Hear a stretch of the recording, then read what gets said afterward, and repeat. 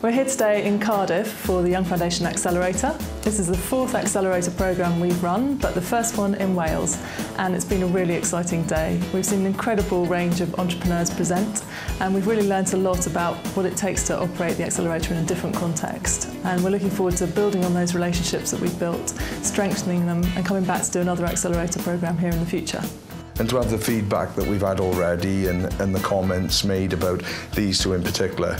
It's helped us develop as an organisation massively because we've now got a real clear idea of where we're going and the tools that we've learned through the last 12 weeks have already been implemented into SFW. It's, it's fantastic and I'd recommend it to anyone. So from the first day of the Accelerator course, as an organisation, I think we, we are far stronger now than when we started. It was very relaxed and everyone on settees and um, just seemed more informal and I liked that.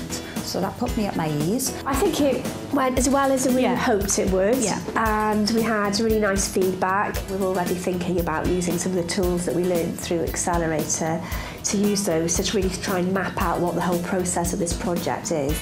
Think Demo Day has been really positive. It's been really nice to bring together all of the Young Foundation colleagues again and to share where we are in our learning and where we want to be and how we're going to get there. And today's been really positive and provided lots of clarity around how we are going to move forward.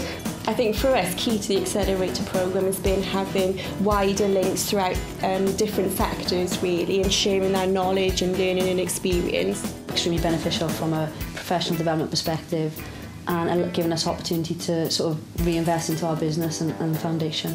If they weren't able to invest directly, then maybe point us in the in the right in the right places really, so we can look to genuinely have the impact we want to do because it's something we're really serious about. We wouldn't be communicating with the investors that we are communicating with without the Young Foundation. I'm very optimistic about potential opportunities that might come from it. We hone in on what we're good at, what our social offering is, our impact, make sure that our financials are pretty watertight. Great opportunity to meet all of the funders in one room. It's a very casual uh, quite intimate uh, uh, way of uh, hosting that meeting.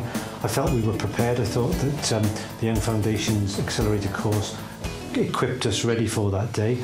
Overall, a really enjoyable experience and I look forward to what develops from it. We see the whole process we've been through on the Accelerator and our City Homes as a partnering organisation and foundation as a real opportunity to, to forge strong links with the Young Foundation and hopefully we'll have a long and fruitful relationship with them over the coming years. We had some interesting questions and um, I think we've got lots to follow up after, um, after today now. I think it's helped us to, to really decide which direction our project needs to move in and where the business will go next.